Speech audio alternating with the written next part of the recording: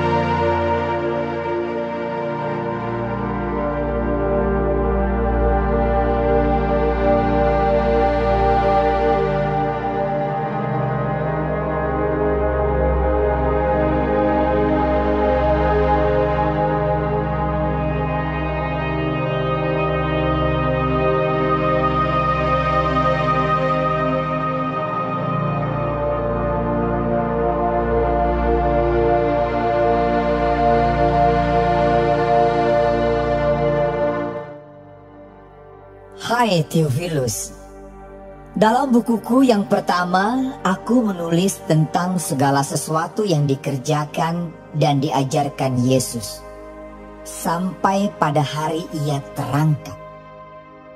Sebelum itu ia telah memberi perintahnya oleh roh kudus kepada rasul-rasul yang dipilihnya. Kepada mereka ia menunjukkan dirinya setelah penderitaannya selesai dan dengan banyak tanda ia membuktikan bahwa ia hidup.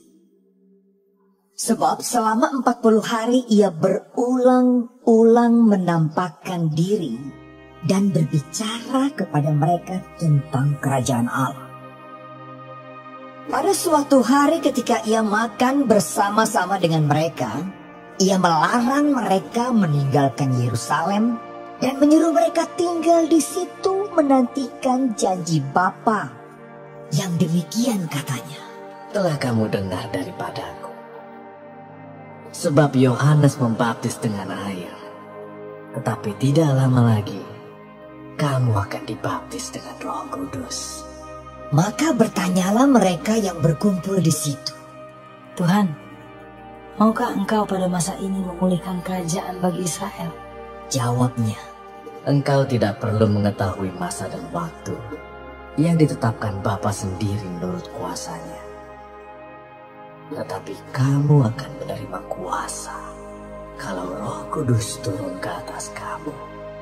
Dan kamu akan menjadi saksiku di Yerusalem dan di seluruh Yudea dan Samaria dan sampai ke ujung bumi. Sesudah ia mengatakan demikian, terangkatlah ia disaksikan oleh mereka dan awan menutupnya dari pandangan mereka. Ketika mereka sedang menatap ke langit, waktu ia naik itu, tiba-tiba berdirilah dua orang yang berpakaian putih dekat mereka dan berkata kepada mereka, Hai orang-orang Galilea, Mengapakah kamu berdiri melihat ke langit? Yesus ini yang terangkat ke surga meninggalkan kamu akan datang kembali dengan cara yang sama seperti kamu melihat dia naik ke surga. Maka kembalilah rasul-rasul itu ke Yerusalem dari bukit yang disebut Bukit Zaitun yang hanya seperjalanan sabat jauhnya dari Yerusalem. Setelah mereka tiba di kota, naiklah mereka ke ruang atas, tempat mereka menumpang.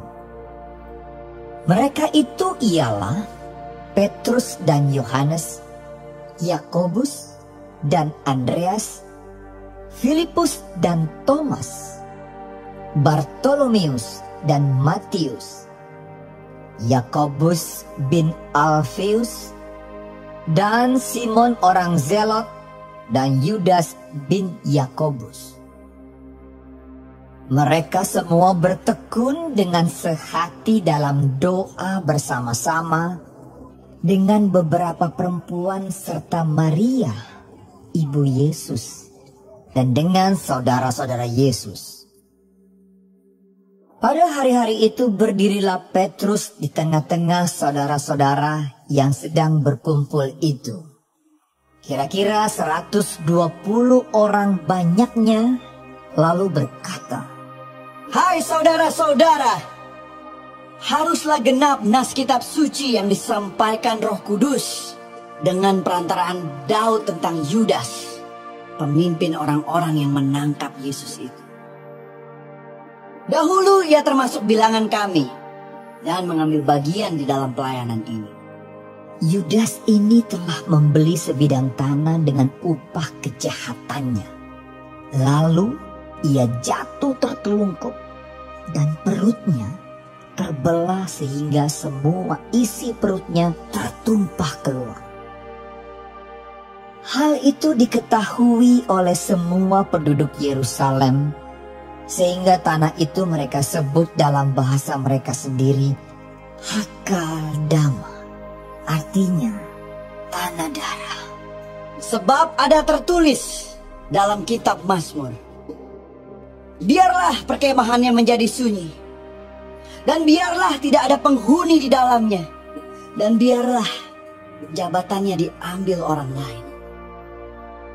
Jadi harus ditambahkan kepada kami seorang dari mereka yang senantiasa datang berkumpul dengan kami selama Tuhan Yesus bersama-sama dengan kami. Yaitu mulai dari baptisan Yohanes sampai hari Yesus terangkat ke sorga, meninggalkan kami untuk menjadi saksi dengan kami tentang kebangkitannya.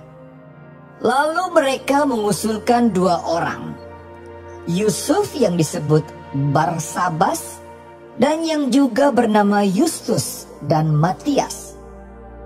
Mereka semua berdoa dan berkata, Ya Tuhan, Engkaulah yang mengenal hati semua orang. Tunjukkanlah kiranya siapa yang Engkau pilih dari kedua orang ini untuk menerima jabatan pelayanan, yaitu kerasulan yang ditinggalkan Yudas yang telah jatuh ke tempat yang wajar baginya.